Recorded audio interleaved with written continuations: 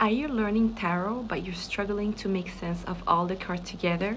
But it's really hard to know exactly the meaning of the whole story, the message.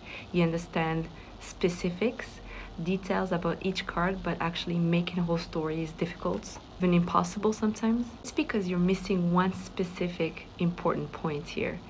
You need to channel. Channeling is absolutely essential in tarot reading. If you want to get the full story, you need to channel. What does it mean, channeling? Channeling is being in a state where you receive insights, ideas, uh, inspired thoughts. It can happen in different ways for different people. Each person channels differently, but channeling guide your tarot readings. One of the best way to start channeling, at least for me, is through objects. You can use objects to channel. So, for example, if you find that you have a strong um, ability using crystals, you can use a crystal. Um, if you find that you are really into fire, then you can use candles.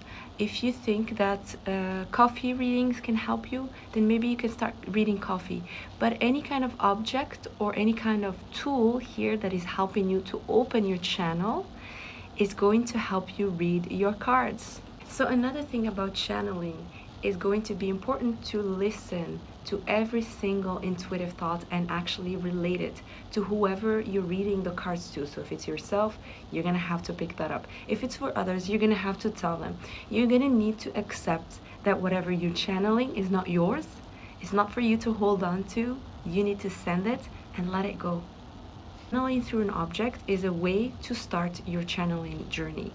You can also using art. If you're an artist, if you're someone who relates to artwork, if you can actually paint or draw, you can channel that way. Many people I know actually do it that way. So you can channel through your art. You can also channel through your writing. If you are a writer, you can use that as a channel uh, media. You can also do channeling using a specific activity that helps you stay fully present. So, for example, some people are able to channel while they're making food, others are able to channel while they are cleaning up their home.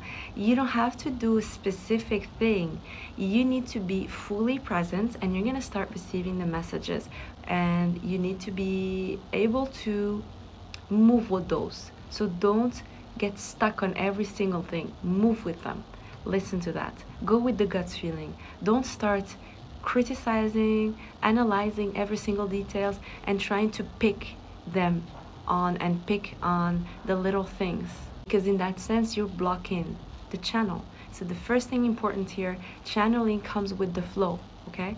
It's really important to stay in the flow. Last but not least, channeling is important when you're reading your cards. But also, one thing that is really important because when you channel for yourself or for others, you are picking up on heavy energy sometimes. So, keeping yourself cleansed when it comes to your energy, really important to cleanse your energy and to know how to protect yourselves. So, you need techniques to do that. You can't just pretend that it's going to happen for itself. You actually need to put steps to cleanse your energy regularly and to protect your energy regularly. So I hope this was helpful. I really hope that you try this method. Let me know in the comment section and if you need any kind of guidance from myself, if you need more details, you can always email me or send me a booking through my website. I love you guys so much. I hope this was helpful. See you later. Bye.